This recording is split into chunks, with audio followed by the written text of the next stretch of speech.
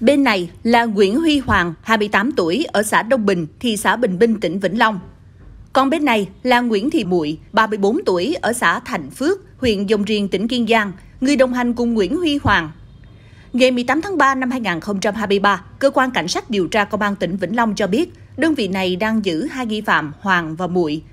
theo thông tin ban đầu, vào khoảng 20 giờ 45 phút ngày 17 tháng 3, lực lượng cảnh sát điều tra tội phạm về ma túy công an tỉnh Vĩnh Long phối hợp với các đơn vị nghiệp vụ khác trên đường làm nhiệm vụ thì phát hiện một đôi nam nữ này đang chở nhau trên một xe máy trên quốc lộ 1, đoạn qua xã Tân Phú, huyện Tam Bình, tỉnh Vĩnh Long. Nhận thấy có dấu hiệu nghi vấn, lực lượng chức năng đã dừng phương tiện kiểm tra.